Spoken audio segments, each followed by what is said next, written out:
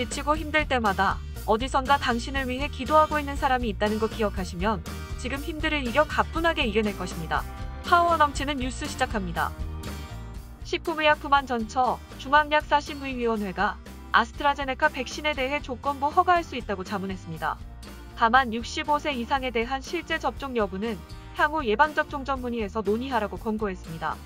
5일 식품의약품안전처에 따르면 식약처 법정 자문기구인 중앙약심은 지난 4일 회의를 열고 아스트라제네카 코비드-19 백신주의 국내 품목 허가가 조건부로 가능하다는 결론을 내놨습니다.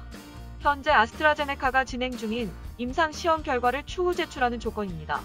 중앙약심은 한국 아스트라제네카 코비드-19 백신주의 품목 허가 신청을 위해 제출된 자료를 통해 이 약의 안전성 효과성 인정 여부를 논의한 결과 신청 품목의 국내 코로나19 예방 목적의 필요성이 인정되고 코로나19 백신 안전성 효과성 검증 자문단의 자문 결과를 종합할 때 현재 진행 중인 임상시험 결과 등을 제출하는 조건으로 품목 허가할 수 있을 것으로 자문했습니다.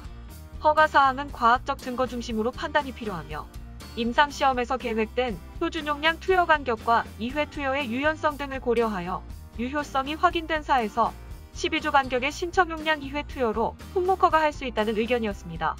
접종 대상도 유럽과 동일하게만 18살 이상으로 권고했습니다. 다만 사용상의 주의사항에만 65살 이상의 백신 접종 여부는 효과에 대한 자료가 충분하지 않으므로 신중하게 결정해야 한다를 반영하고 추후 미국 임상시험 결과에 대한 분석 자료 제출을 권고했다고 밝혔습니다. 안전성과 관련해선 검증 자문단 의견과 동일하게 임상시험에서 발생한 이상 사례 등 안전성 프로파일 경향성은 허용할 만한 수준이며 다만 횡단성 척수염을 포함한 신경계 관련 이상 사례 발생에 대해서는 허가 후 모니터링이 필요하다는 의견을 내놨다.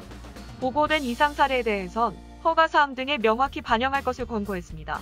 임신부의 경우 임신 기간 중 백신 접종은 권장되지 않는다 등 허가 신청 사항을 인정했습니다. 수유부에 대해서는 검증 자문단이 제안한 이 약이 모유로 분비되는지는 알 수 없도록 사용상 주의사항에 기술하는 것이 적절하다는 의견도 나왔습니다.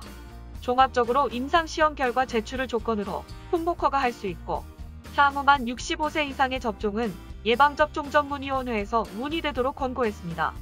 식약처는 한국 아스트라제네카 코비드-19 백신주의 품질 자료 등을 추가로 제출받아 검토를 진행하고 코로나19 백신 안전성 효과성 검증 자문단과 이번 중앙약사심의위원회 자문을 통해 얻은 전문가 의견, 효능 효과, 용법 용량, 권고사항 등을 종합해 최종 점검위원회를 통해 백신 허가 여부를 최종 결정할 예정입니다.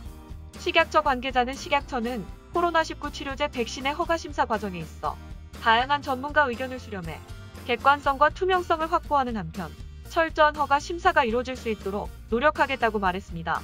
한편 전날 코백스 퍼실리티 세계 백신 공동구매 연합체는 올해 상반기까지 화이자 백신 11만 7천 회분, 아스트라제네카 백신 259만 6,800회분 등 약 271만 회분을 국내에 공급하겠다고 통보했습니다. 이상 프라임 경제 추민선 기자의 아스트라제네카 백신 관련 기사였습니다. 오늘 뉴스 마치겠습니다. 여러분 고맙습니다.